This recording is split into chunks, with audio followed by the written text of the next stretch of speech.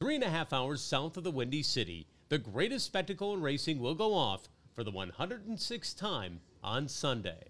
And while fans of the Indianapolis 500 here in Chicago always have their drivers to support, they'll also have someone local to root for in 2022.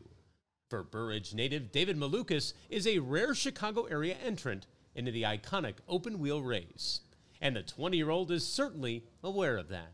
There's so many you know motorsport fans in the Chicago local area, many racers as well. So I think it feels very cool to represent the you know the Windy City. There have been those from Chicagoland who have done it before, including 1930 pole position and race winner Billy Arnold, who was from Chicago, and the Bettenhausens of Tinley Park.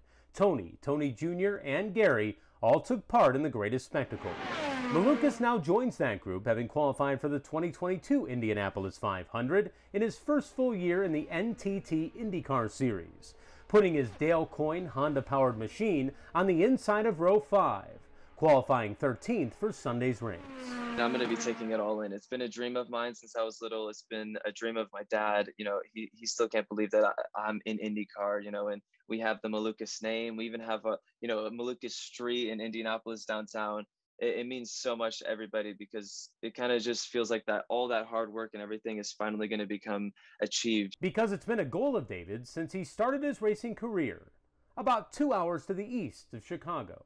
Started in go karts. It was in a little kid cart in South Bend, Indiana and it's kind of like the most local kind of outdoor open go-kart track towards us and yeah kind of just kept going there for fun and you know we go there a few more times the next thing you know we're kind of taking it more on the serious end. Uh, somebody uh, by the name of Brent Ebert, he introduces us to him and uh, he wanted to coach me. We went to our first Florida Winter Tour, which we did very badly in. I mean, I got laughed many times, but you know, we, we did more and more series in the US. And next thing you know, we we win our first race, and from there on, it was kind of just following the path all the way to IndyCar. With plenty of family support, including his parents, Henry, a former racer himself, and Deva, who both came over to the United States from Lithuania after the collapse of the Soviet Union in 1991.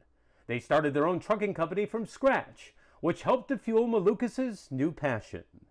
They've went through all these tough times and, and earned so much, and to me it means so much that everything they've earned they've just put into me. So it's a it's a very I feel very thankful and very grateful for what the opportunity that they've given me.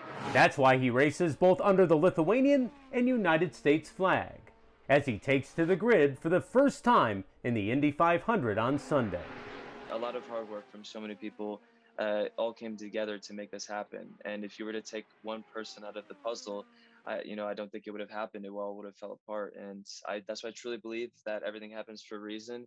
Is every step of the way we've had so many instances where it, things didn't look that great, but everything kind of just clicked and you know it, it kind of propelled us forward to get to to where we are now. David's taken part in five indycar races during his rookie year. His highest finish was 11th at texas motor speedway back in march. Currently he's ranked 19th in the points standings. Larry hawley wgn news now